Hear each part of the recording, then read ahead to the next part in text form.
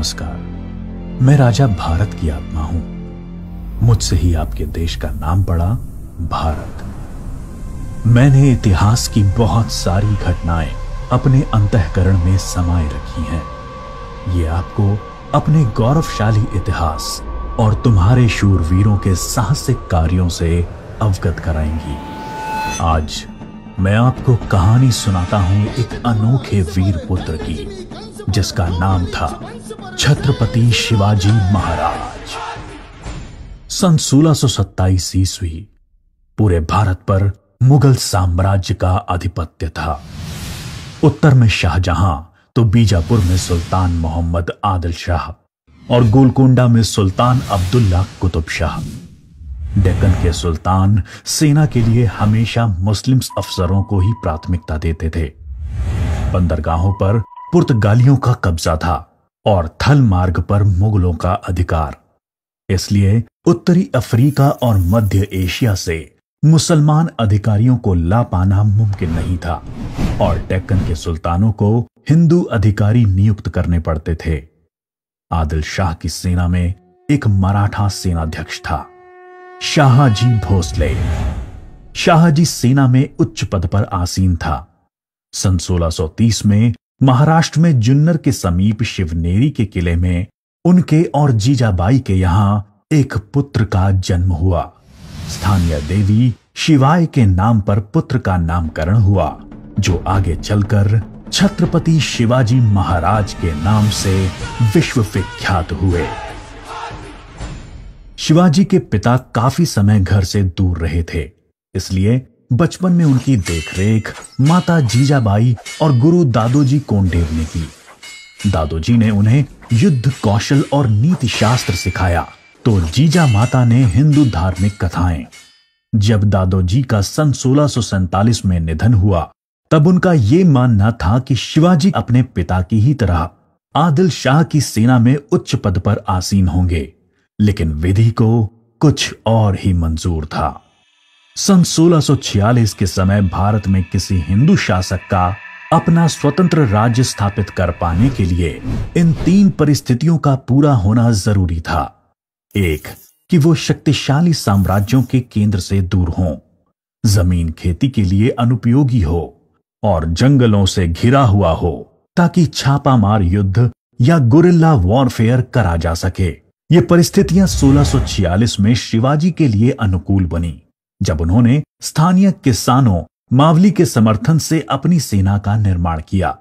शिवाजी को भली भांति याद था कि किसी भी साम्राज्य को स्थापित करने के लिए किलों की क्या महत्व है। इसलिए सिर्फ़ पंद्रह साल की उम्र में ही उन्होंने आदिलशाही अधिकारियों को रिश्वत देकर तोड़ना, चाकन एवं कोंडना किलों को अपने अधिकार में कर लिया। इसके बाद उन्होंने आबाजी सोमदेव की मदद से थाना कल्याण और भिवंडी के किलों को मुल्ला अहमद से छीनकर अपने अधिकार में कर लिया। इन घटनाओं से आदिल शाही साम्राज्य में हड़कंप मच गया। शिवाजी को रोकने के लिए उनके पिता को गिरफ़्तार कर लिया गया। इसलिए शिवाजी ने अगले सात बरस तक आदिल शाह पर सीधा आक्रमण नहीं किया। शिवाजी ने यह समय अपनी सेना को बढ़ाने और प्रभावशाली देशमुखों को अपनी ओर करने में लगाया। धीरे धीरे उन्होंने एक विशाल सेना खड़ी कर ली, जिसके घुड़सवार नेताजी पलकर ने संभाल रखी थी, और पैदल सेना यशाजी कनक ने। अब तक शिवाजी के पास 40 किले भी आ चुके थे। शिवाजी के बढ़ते प्रभाव को रोकने के लिए सन सोलह में बीजापुर की बड़ी साहिबा ने अफजल खान को दस हज़ार सिपाहियों के साथ शिवाजी पर आक्रमण करने का हुक्म दिया। अफजल खान अपनी क्रूरता और ताकत के लिए जाना जाता था। उसने शिवाजी को खुले युद्ध करने के लिए उकसाने के लक्ष्य से बहुत सारे मंदिरों को तोड़ डाला और कई बेगुनाह नागरिकों का कत्ल कर डाला। लेकिन शिवाजी ने चतुराई और रण कौशल का परिचय देते हुए छापामार पद्धति से युद्ध चालू रखा। इस समय वो प्रतापगढ़ किले में रहे, जो कि चारों तरफ़ से घने जंगलों से घिरा हुआ था। अंत में अफजल खान ने शिवाजी को धोखे से मारने की साजिश रची। उसने शिवाजी को मिलने का न्योता भेजा। जब वो मिले, अफजल खान ने अपनी मज़बूत पकड़ में शिवाजी को दबाकर मार डालने का प्रयास किया। शिवाजी पहले से तैयार थे। अपने छुपा कर रखे हुए बाग नाका से उन्होंने अफजल खान का पेट ही चीर डाला, जो कि उनसे दो गुना विशाल काय था। इसके बाद प्रतापगढ़ की लड़ाई में शिवाजी ने अफजल खान की सेना को करारी मात दी। शक्तिशाली अफजल खान की हार से बीजापुर का सुल्तान स्तब्ध रह गया। अब की बार रुस्तम जमान को भेजा गया। 28 दिसंबर सोलह को शिवाजी ने रुस्तम जमान की सेना पर सामने से हमला बोल दिया। साथ ही उनकी सेना की दो और टुकड़ियों ने दोनों दिशाओं से रुस्तम की फौज पर आक्रमण कर दिया। रुस्तम जमान शर्मिंदाजनक स्थिति में लड़ाई के मैदान से अपनी जान बचाकर भाग गया। सन 1660 में आदिल शाह ने अपने सेनापति सिद्दी जौहर को शिवाजी पर हमला करने के लिए भेजा। शिवाजी पनहाला किले में थे और सिद्दी जौहर की सेना ने किले को चारों ओर से घेर लिया। शिवाजी ने सिद्दी जौहर को मिलने का न्योता दिया, और जब वो मिले, आदिल शाह को संदेश भिजवा दिया कि सिद्दी जौहर उनसे गद्दारी कर रहा है। इससे आदिल शाह और सिद्दी जौहर के बीच लड़ाई छिड़ गई, जिसका फ़ायदा उठाकर शिवाजी एक रात अपने पाँच हज़ार सिपाहियों के साथ पन्हाना किले से बाहर निकल आए। बाजी प्रभु देश पांडे ने न सिर्फ़ सिपाहियों के साथ दुश्मन सेना को उलझाए रखा जिसकी वजह से शिवाजी सकुशल विशालगढ़ पहुँच गए। इस लड़ाई में बाजी प्रभु देश को अपने प्राणों से हाथ धोना पड़ा। उनको महाराष्ट्र के इतिहास में एक महान योद्धा माना जाता है। इसके बाद बीजापुर की बड़ी बेगम ने औरंगज़ेब से शिवाजी को पकड़ने के लिए विनती करी। उसने अपने मामा शाइस्ता खान को एक लाख पचास हज़ार सैनिकों के साथ शिवाजी से युद्ध करने भेजा।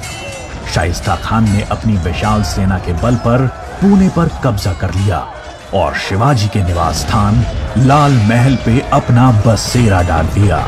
शिवाजी ने चालाकी से अपने 400 सिपाहियों के साथ शादी के बारातियों के वेश में पुणे में प्रवेश कर लिया।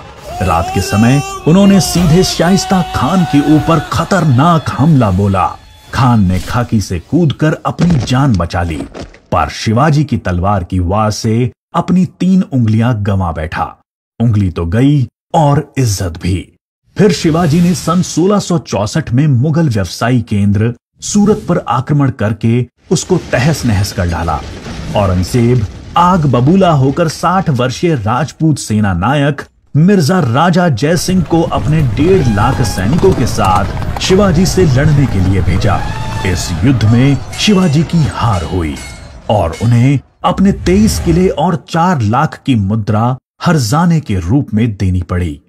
उन्हें अपने नौ वर्ष के पुत्र संभाजी के साथ आगरा जाना पड़ा। शिवाजी को नियंत्रित रखने के लिए पहले यह तय हुआ कि उन्हें मुगल दरबार में कोई पद दिया जाए। लेकिन औरंगज़ेब ने उसको बदलकर शिवाजी को घर में कैद करने का आदेश दे दिया। औरंगज़ेब नहीं जानता था कि यह गलती बहुत महँगी पड़ेगी। शिवाजी ने बीमारी का बहाना बनाया और अपने स्वास्थ्य को ठीक करने के आशीर्वाद के लिए साधु संतों और फकीरों को रोज़ाना मिठाई और उपहार भेजने की इच्छा जताई। एक दिन वो खुद श्रमिक के भेष में सामान के डब्बे में संभाजी को छुपाकर बाहर निकल आए। वो मथुरा, काशी, गया, पुरी के बाद गोलकोंडा और बीजापुर होते हुए रायगढ़ पहुँच गए।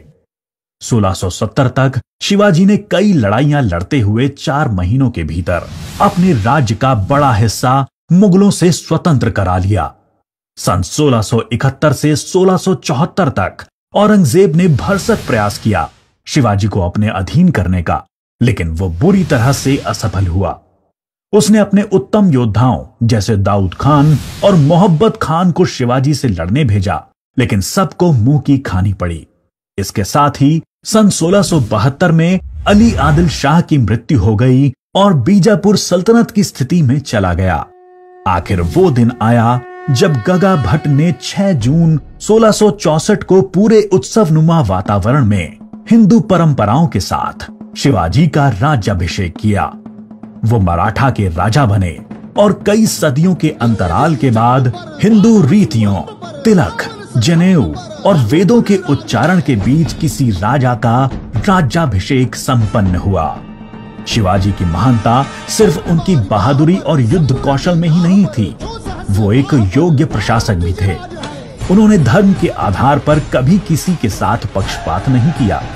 उनके कई अधिकारी यहाँ तक कि उनके व्यक्तिगत अंगरक्षकों में कुछ मुसलमान भी थे। उन्होंने कभी किसी भी नारी का निरादर नहीं किया। यहाँ तक कि युद्ध में हारे हुए दुश्मनों की स्त्रियों को भी सम्मान सहित वापस भेज देते थे। गुरिल्ला युद्ध किलों का उपयोग और नवसेना का निर्माण भारत में पहली बार शिवाजी ने ही करा। उन्होंने चार किलों तथा 2000 सैनिकों से शुरुआत की थी और उनकी मृत्यु के समय तक ये गिनती 300 किलो एवं एक लाख सैनिकों की हो गई थी। मार्च 1680 में शिवाजी का स्वास्थ्य खराब हो गया तेज बुखार और पेचिस के चलते 5 अप्रैल 1680 को बावन साल की छोटी सी उम्र में इनका स्वर्गवास हो गया। औरंगज़ेब ने सोचा कि शिवाजी की मृत्यु के बाद मराठा राज्य खत्म हो जाएगा, लेकिन ऐसा हुआ नहीं। पहले उनके पुत्र सांभाजी ने और उसके बाद छत्रपति राजा राम ने मराठा शासन की बागडोर संभाली।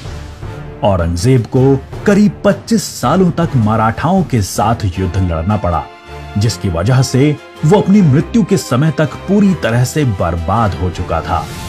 शिवाजी ने जो मराठा राज्य की नींव रखी, वो आगे चलकर कर्नाटक से लेकर एटॉक पाकिस्तान तक फैल गई। शिवाजी जैसे मनुष्य कभी मरते नहीं, लेकिन लोगों के हृदय में अपने महान कार्यों, साहस और बलिदानों की वजह से हमेशा अमर रहते हैं।